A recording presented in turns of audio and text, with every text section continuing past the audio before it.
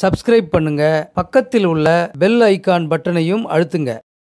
சித்தர்கள் புகழ்பாடும் மருத்துவம் என்ற சேனல் வழியாக நிகழ்ச்சிகளை பார்த்து கொண்டிருக்கும் அன்பர்களுக்கு என்னுடைய பணிவான வணக்கத்தை தெரிவித்துக் கொள்கின்றேன். பனிரெண்டாம் அதிபதி. இந்த ஆறு எட்டு பன்னிரெண்டுலாம் மறைஸ்தானம் அப்படின்னு சொல்கிறோம் இல்லையா? அதனால் அந்த இடத்த மட்டும் நான் கொஞ்சம் ஆராய்ச்சி பண்ணேன். ஆறு எட்டு பன்னிரெண்டு அதிபதிகள் மட்டும். இங்கே பாருங்கள் பன்னிரெண்டாம் அதிபதி அமர்ந்த வீட்டிற்கு பன்னிரெண்டாம் அதிபதி லக்கணத்தில் அமரக்கூடாது. இப்போ ஒரு உதாரண ஜாதகத்துக்கு நான் எடுத்துக்கிட்டேன் சிம்ம லக்கணம். அந்த சிம்ம லக்கணத்துக்கு பன்னிரெண்டாம் அதிபதி யாருன்னு சொன்னால் சந்திரன். அந்த பன்னிரெண்டாம் அதிபதி சந்திரன் அவர் அமர்ந்த வீட்டிற்கு பனி அவர் போய் என்ன பண்ணிக்கிறாரு? ரிஷபத்தில் இருக்கிறார். இந்த ஜாதகத்துக்கு நான் உதாரண ஜாதகத்தினுடைய ரிஷபத்தில் சந்திரன் உச்சம். தப்பு கிடையாது. சந்திரன் உச்சமானால் எவ்வளோ நல்லதுதான் தப்பு கிடையாது. இந்த கடகலக்கண சிம்ம லக்கணத்திற்கு பன்னிரெண்டாம் அதிபதி சந்திரன் ரிஷபத்தில் உச்சமானார். ஆனால் அவருக்கு பன்னிரெண்டாம் அதிபதி யார்?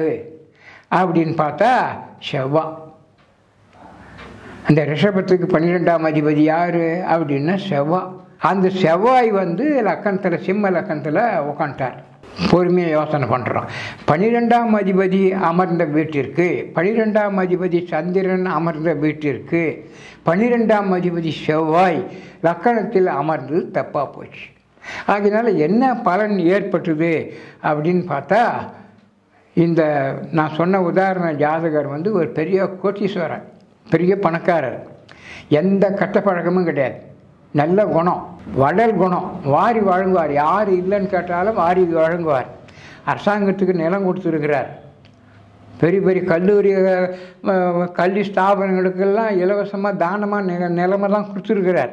அப்பேற்பட்ட நல்லவர் அவர். அன்ன சத்திரம் ஒன்று கட்டி மூணு வேளையும் சாப்பாடு போட்டுக்கிறார். எப்போ போனாலும் சாப்பாடு கிடைக்கும். அந்த மாதிரி ஒரு தர்ம சிந்தனை உடையவர் இந்த ஜாதகர். ஆனால் இந்த பனிரெண்டாம் அதிபதி அமர்ந்த வீட்டிற்கு பனிரெண்டாம் அதிபதி லக்கணத்தில் அமர்ந்த காரணத்தினால என்ன ஆனாருன்னு சொன்னால் எல்லாமே இவரை விட்டு நழுவ ஆரம்பிச்சிடுச்சு.